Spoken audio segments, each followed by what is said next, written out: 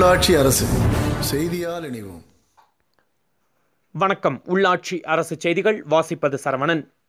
ஈரோடு மாவட்டம் பவானி தாலுகா அண்ணா பிறந்தநாள் விழா அதிமுக சார்பில் கொண்டாடப்பட்டது. அதிமுக சார்பில் அந்தியூர் பிரிவு சாலையில் நடந்த விழாவிற்கு கிருஷ்ணராஜ் தலைமை தாங்கினார்.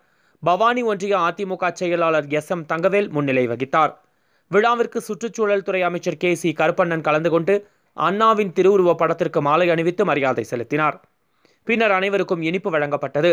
இந்த விழாவில் முன்னாள் நகராட்சி தலைவர் எஸ் எம் ஆர் துரை துணைத் தலைவர் ராஜேந்திரன் மற்றும் முன்னாள் கவுன்சிலர்கள் உட்பட பலர் கலந்து கொண்டனர். உள்ளாட்சி அரசு செய்திகளுக்காக பவானி தாலுகா நிருபர் வீரமுத்து. செய்திகளை உடனுக்குடன் தெரிந்து கொள்ள உள்ளாட்சி அரசு செய்திகளை சப்ஸ்கிரைப் செய்யுங்கள். தொடர்ந்து பெல் பட்டனையும் பிரஸ் செய்யுங்கள்.